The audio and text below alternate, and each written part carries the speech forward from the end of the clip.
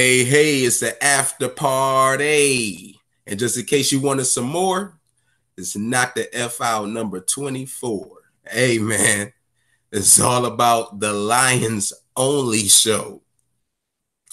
Jermell Charlo went up against Jorge Cota. And did anybody get that KTFO stamp? Oh, yeah. I knew this fight would definitely live up to the name because Jorge Cota got knocked the fuck out. He got knocked the fuck out in the third round, man. In the third round, I, I had said the fifth. I thought Jorge would get it to the fifth round. But no, man. Jermell Charlo, man, he got him up out of there, man. He hit him with that left, hit him with that straight left right, and that motherfucker flat. He lay flat on his back. It was a wrap, man. And, and you want to know what I liked about it? Because Jermell did exactly what we told his ass to do. He worked off the jab, man.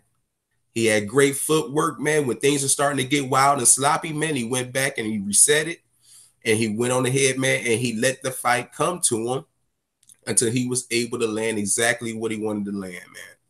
You know, I will say this though, man. When he knocked him down the first time in that third round, man, he was out of there, man. They should have stopped the fight, man. That referee should have made Jorge walk up to him like the referee did in that Anthony Joshua fight. You know, when he went up to Flopshua and he asked him to walk forward to him, and he couldn't because he was holding himself up on the ropes. The same damn thing Jorge Cota was doing. And, and when they told him to resume the fight, man, Jermell went over there and blasted his ass, man, with that straight left right, and it was a wrap, man. Flat on his back, man. Mr. Cleveland, anything you want to touch on on it? Yeah, man. I don't know why Jorge Cota came out in Southpaw for this fight, man. I'm not saying I, I'm not saying he hasn't done that before, but I just haven't seen him do it. And when he did that, I'm like, yeah, this fight gonna be over faster than I thought because you can do that against a lower level opposition. You cannot do that against elite opposition unless you fucking Terrence Crawford, man. Terrence Crawford is the only elite level fighter who I've seen him switch orthodox southpaw no matter who he is fighting, man. Jorge, hey man, you know what? I'm gonna have to probably rewind that part, man, and edit it out and play that part about five times in a row, man. I love it when you put Bud Crawford over, man, the best welterweight in the game.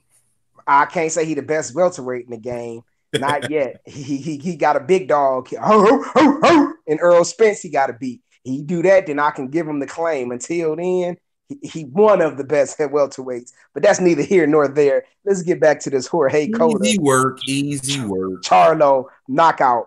Um, I just I didn't like the fact that he came out like that. Start off slow, first round, they filling each other out. Same thing, second round. Third round, uh, Cotto uh, Charlo catches him with a vicious right hook and sends him down. Um, like you said, he got up. The ropes weren't holding Cotto up, but you could tell his faculties were not there. And like you said, the ref should have stopped that fight, man. Of course, all the fighters are going to say they could. Yeah, yeah, yeah. I'm ready. I'm good. I'm I'm good. I'm good. And my man Charlo came, like you said, with that one-two, that that jab and that straight right, and it was curtains. My man hit the canvas like a ton of bricks oh my God, the look on his face when he was knocked out was priceless. Uh, Charlo did what he had to do. I know he much rather this Ben Harrison, but hey, man, this is this is this is the outcome that he wanted, man. This is the outcome that that that I'm glad that he got. A late replacement. It could have been a damn Anthony Joshua situation where he ends up getting beat himself, but he took it serious. You can tell the only thing I didn't like is he wasn't going to the body. I feel like he could have went to the body a little more, but I believe that him going in a southpaw stance kind of threw uh, uh Maul off for him, the Maul threw uh, Jermell off for a second. But man, he did what we thought he was gonna do. Knock Cotto the fuck out.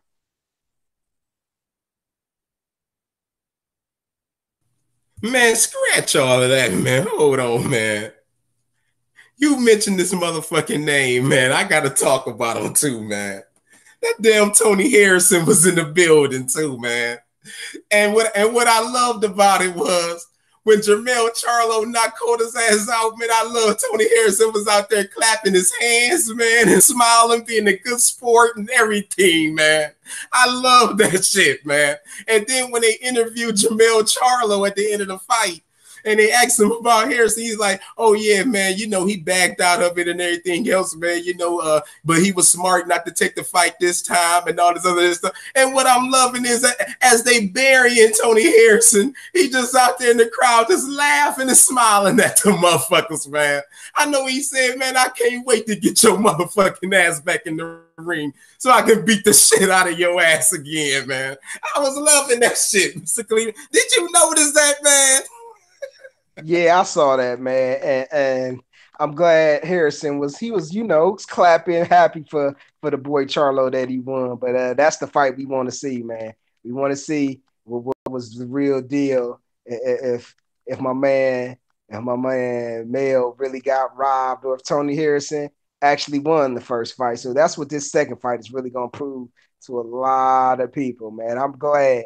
But you said, like you said, you saw man when he was out there clapping, skinning and grinning, happy for the boy, happy for the boy. So I'm glad it didn't turn into nothing, nothing too bad. You can tell it was good sportsmanship, good showmanship, and I can't wait for that fight to happen, man. Hopefully, the winner of that fight go collect the rest of them belts at 154.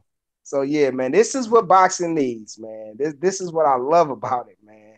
That it was awesome. It was awesome.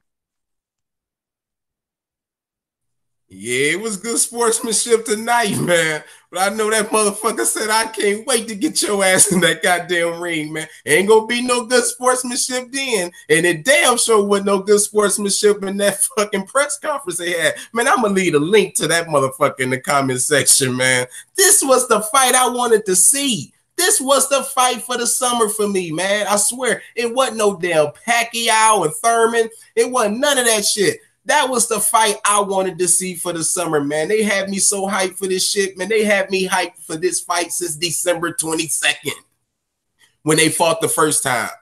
Man, damn, I hate he got injured and hurt, man. But it's coming. It's coming. It's coming. And when it's and when it come, man, we're gonna be all over it. And we're gonna keep y'all up to date on everything, man. So yeah, man, this is an after party show, man. Hey, we'll be back next week, man, because the twin brother in action. Jermall Charlo defending his middleweight title against uh Brandon Adams, man. So um this should be a good one, man. Should be a good one. So the Lions Only show will continue next week, man. We'll be back for Knock the F Out podcast number 25, man. Chuck P. C-Ville's finest, Mr. Carl Cleveland. We up out of here.